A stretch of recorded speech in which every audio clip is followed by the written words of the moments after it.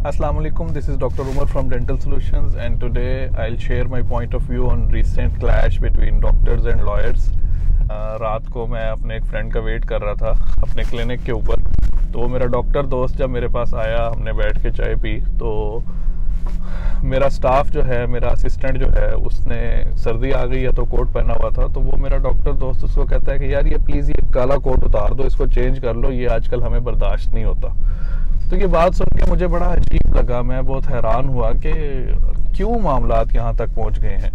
اسی طرح میرے بہت سارے وکیل دوست ہیں، جب میں فیس بک کے اوپر، سوشل میڈیا کے اوپر ان کے، ان کو دیکھتا ہوں، ان کا پوائنٹ آف ویو سنتا ہوں، تو ڈاکٹر کی موت اور ڈاکٹر کتا اور اس طرح کی باتیں جب میں سننے کو ملتی ہیں تو میں بڑا پریشان ہوتا ہوں کہ حالات یہاں تک کیسے پہنچ گئے تو پھر اس مین انسیڈنٹ کو اگر ہم دیکھیں کہ جو وکلا نے جب ہاسپٹل کے سامنے کافی دیر پہلے پورا من احتجاج کیا اینڈ دین پھر وہ ایک وائلنٹ اٹیک میں چینج ہو گیا تو اس کی وجہ کیا تھی پہلے میں نے سوچا شاید اس کی وجہ وہ ویڈیو تھی جو ڈاکٹر کی ایک ڈاکٹر کی ویڈیو وائرل ہو گئی تھی جس میں وہ اپنے اوپوننٹس کا مذاق اڑا رہا تھا وکیلوں کا مذاق اڑا رہا تھا۔ تو اس کی وجہ سے شاید یہ اٹیک کیا ہو، انہوں نے پنجاب انسٹیٹیوٹ آف کارڈیالوجی کے اوپر۔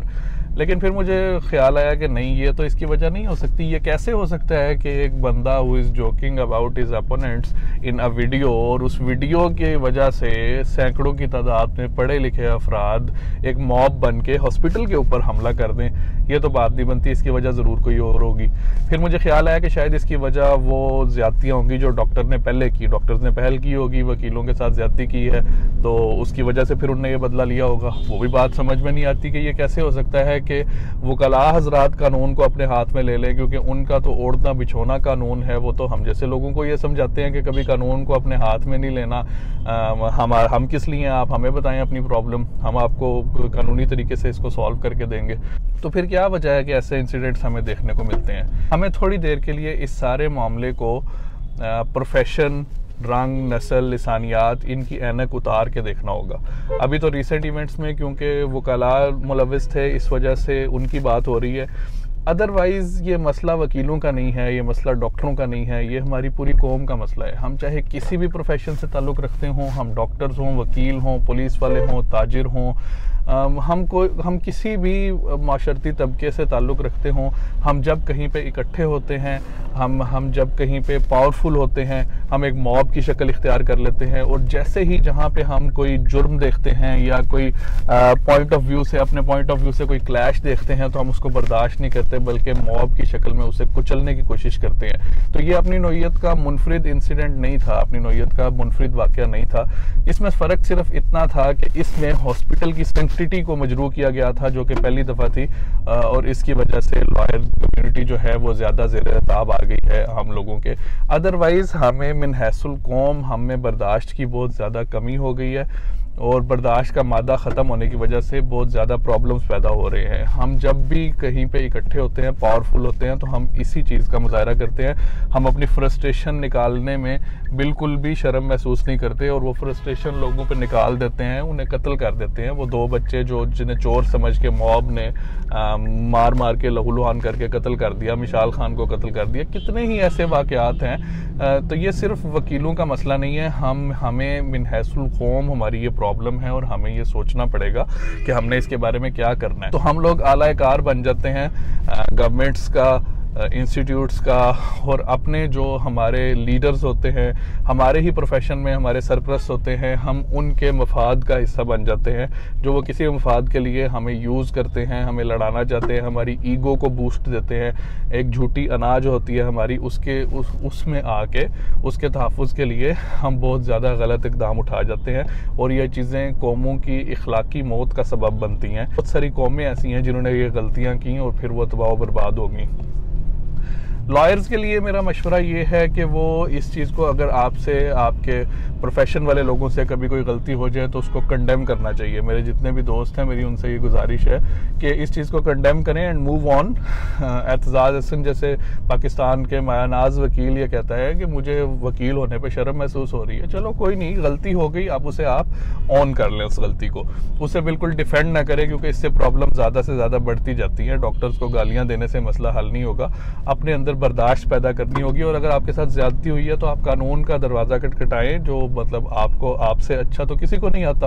اور اگر جسٹس نہیں ملتا تو پھر قانون کو اپنے ہاتھ میں لینے کی بجائے اللہ تعالیٰ پر بھروسہ کریں۔ بینگ اے مسلم ہم پر یہ فرض بنتا ہے کہ ہم اللہ تعالیٰ پر بھروسہ رکھیں کہ وہ انشاءاللہ جو بھی لوگ ہوں گے، ملوث ہوں گے، مجرم ہوں گے، اللہ تعالیٰ انہیں کیفر کردار تک پہنچائے گا۔ کبھی بھی قانون کو اپنے ہاتھ میں لیں۔ بے نظیر بھٹو والا واقعہ جب ہوا تھا تو مجھے یاد ہے موب نے اٹیک کر دیا تھا سٹریٹس کے اوپر A T M machines banks توڑ دیے، دکانوں کو نقصان پہنچایا، املاک کو نقصان پہنچایا۔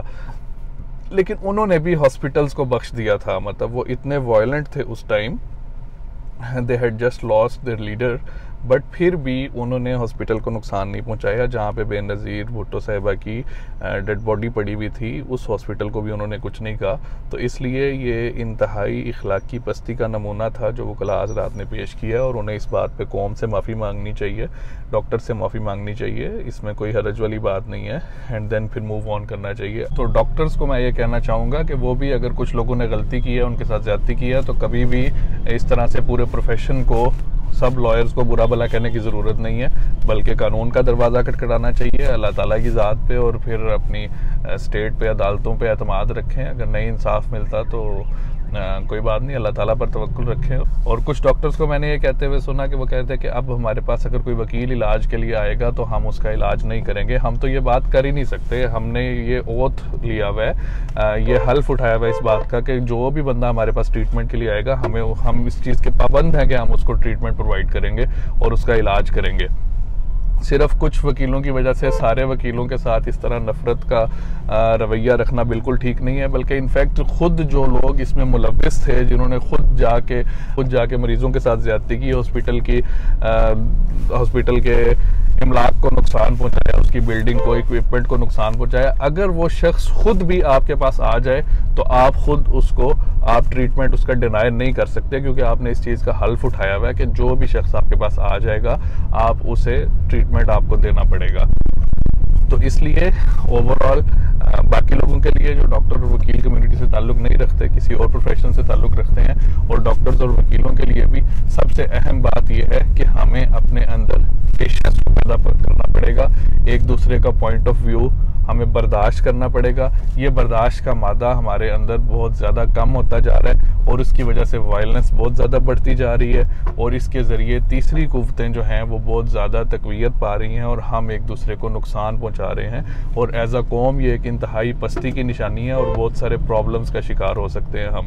تو جتنی جلدی ہو سکے ہم نے انڈیویجول لیول پہ بھی، اپنی زندگیوں میں بھی، نجی زندگیوں میں بھی برداشت کا بہت زیادہ اضافہ کرنا ہے۔ آج جو بھی میری یہ ویڈیو دیکھ رہے ہیں وہ اس بات کا تہیا کر لے کہ اب میں نے لوگوں کا پوائنٹ آف ویو ان کی بات جو ہے، وہ برداشت کرنی ہے، چاہے وہ کوئی بھی ہو۔ اس کو برداشت کر کے اچھے طریقے سے، ٹھنڈے دل سے اس پہ سوچنا ہے۔ تو پیشنس اگر ہم بڑھا لیں گے اپنی زندگیوں کے اندر، تو اس طرح کے پرابلمز جو ہیں، وہ ہمیں نہیں فیس کرنے پڑیں گے روز روز۔ آج کی ویڈیو کے لیے بس اتنا ہی تھا۔ انشاءاللہ ملیں گے پھر کسی اور ویڈیو کے ساتھ۔ اللہ تعالیٰ آپ کو آسانیاں عطا فرمائے اور آسانیاں تقسیم کرنے کی توفیق عطا فرمائے۔ ہیو اے گریٹ ڈے اللہ حافظ۔